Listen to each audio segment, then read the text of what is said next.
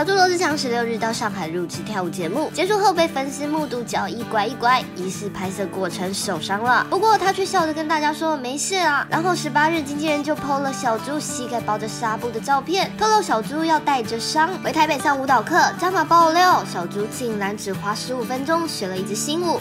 可是小猪膝盖受伤，还是不断练习。二十日，他自己在网上分享练舞经过，不料在一个跳跃动作后，疑似膝盖无法负荷，直接跪在地上。他还配上脚还是点点点的文字，最后加了个哭哭图，感觉超级无奈也超级痛。看来小猪的伤还没有痊愈。小猪日前曾预告自己三月将带着新专辑回归，但三月已经过了大半，都还没有消息。虽然粉丝心急，不过看到小猪那么拼命，又舍不得留言。要他先休息一下，我们会等你。